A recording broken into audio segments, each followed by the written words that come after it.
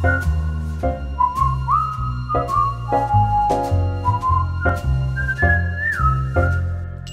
and welcome to the latest episode of Pulp Today. I begin this episode by drinking out of my Bronze Gazette mug. Coffee, maybe with a little brandy in it. That's uh, that's that's for you to say. It's a really nice mug uh, given to me by Chuck Welch, the editor of the Bronze Gazette. And thanks for contributing a couple of articles to his fine magazine. Today we're going to talk about the uh, the descendant of the Man of Bronze, the Man of Steel. It's Superman is a great novel by Tom De Haven. It's uh, uh, De Haven had, had gotten some fame writing a novel set in the 1930s and supposedly had fallen in love with the period. And uh, DC, kind of surprisingly, reached out and said, write a serious novel about Superman set in the 1930s. And he did so. It's a, it's a really great portrait of Depression era America that just happens to also be a coming of age story about a young man from Kansas named Clark Kent who's on his way to being Superman. And he does become Superman before the end of the novel. And it's not set in any particular continuity, but um, the cover image featuring the Max Fleischer Superman cartoon character it gives you kind of a sense of how it's going to feel. And uh, and what take it has on the character, which is a very 1930s take. Uh, the portrait of Clark is a very sensitive one, and I kind of love the fact that the author, even when he's describing a scene of Superman's daring do, it's always Clark punched the robot, Clark lifted the end of the car, Clark did this, Clark flew through the window. Because ultimately, that's his name. he's Clark Kent. Um, I want to read you a section uh, he has a good friend named Willie Berg, a uh, photographer who he met while they were traveling the country, working for one of FDR's recovery programs. And um, Superman, Clark, has just had a fight with some Lex Luthor robots and has beaten them up, though it has shredded his costume. He still hasn't figured out the indestructible costume thing. He and Willie are excitedly going over the experience they just had together. That cop. Yeah, did you see that guy? With the nose, right? The cop with the red nose? Was he a riot or what? Like he was going to have a heart attack. I bet he quits the force. I bet they make him. And the other one, you see him try to grab my cape? He tried to grab your cape? Which one? Big mustache? He tried to get, grab your cape. Man, it's lucky he didn't end up hitchhiking a ride. Clark rubs a hand around his jaw. I was afraid I'd drop you. You were?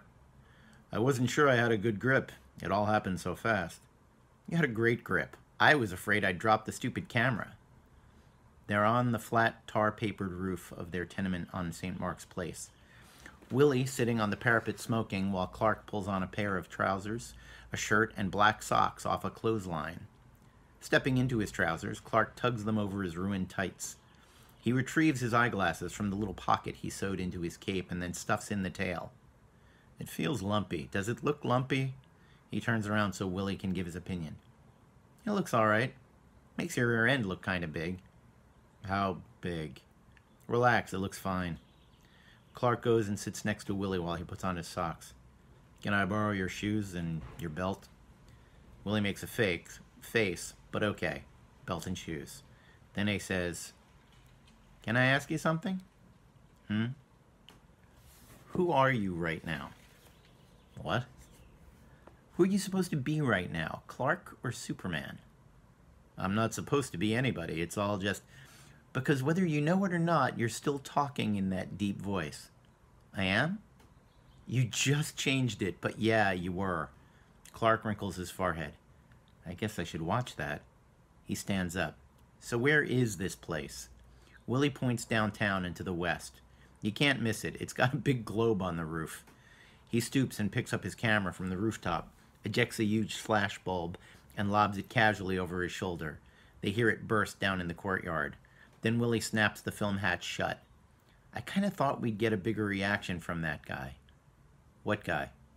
What guy? Luthor. Oh, yeah, me too. Think we did a lot of damage? How much do you think it'll cost to replace those doors? Willie drops the roll of exposed film into Clark's palm. Forget about the stupid doors. And don't scuff the shoes. Clark steps onto the parapet. And don't let anybody see you flying around in those clothes. I won't. Clark doesn't move. Are you going to do this or not? I'm a little nervous. You just annihilated a robot. I think you can talk to the editor of the Daily Planet. Would you go already? I'm freezing to death up here. But wake me when you get back. So yes, I left out that he has also just flown to Lex Luthor to tell him I know it was you who made the robots and confronted him. Uh, one other very short thing I want to read, just because I love it so much, is um, Clark flies to the Daily Planet, has film photographs of Superman, so he makes the big scoop. He gets hired to write the the report. Uh, and then he, in the lobby of the building, he runs into a woman who wants to tell him a story, and he starts asking her questions. And in his internal monologue, he just says this Just listen to me, thinks Clark. All that's left is when, where, and why. I could do this. I really could. Because, he thinks, I honestly don't want to go around beating up robots night and day, raising blisters on the back of a bully's hand, carrying dead bodies down the courthouse steps. So, I've just always loved the idea that Superman sees his job as punching robots. Like, my alternatives are interviewing people, punching robots, and kind of rather interview people than punch robots, which I think is a particularly hilarious take on uh, the dichotomy between Superman and Clark Kent. But uh, all I can say is I, I recommend this book as highly as uh, possible, particularly if you are in, interested in uh, in Superman and in the history of the character it's just such a great take on him. And again, if you have no interest in the character, it's a very solid book about American culture in the 1930s. Until next time, hope you enjoyed this brief episode of Pulp Today.